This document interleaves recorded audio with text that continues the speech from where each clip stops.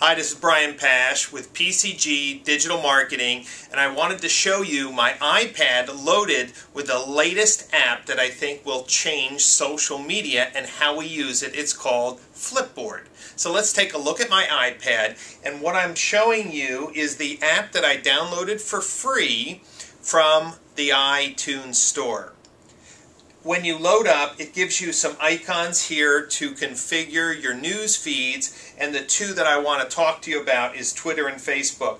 So if I just click here, it brings me to the Flipboard's presentation of my Twitter stream. This is amazing.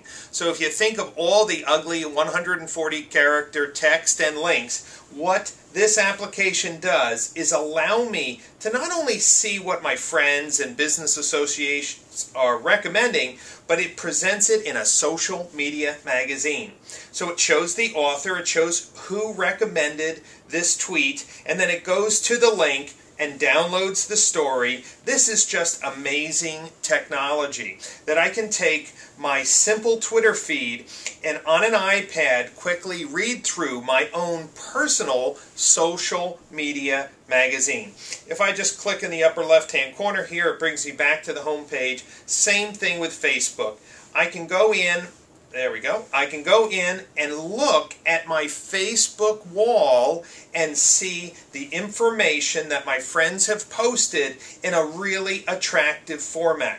It's just amazing that I can take what was once a basic Twitter feed and turn it into a custom social media magazine for my friends and followers. Now, the thing where this gets a little uh, interesting is how this Flipboard app could be used to actually measure or qualitatively judge how well your Twitter stream reads. Think about this. You take this app, connect it to your Twitter stream, and ask yourself the question, would you read this social media magazine? That's a very, very interesting thought. So I'm wondering if the Flipboard is almost a quick way to see the quality of the feed, the quality of your post, the quality of the people that you're following, all in a simple social media magazine.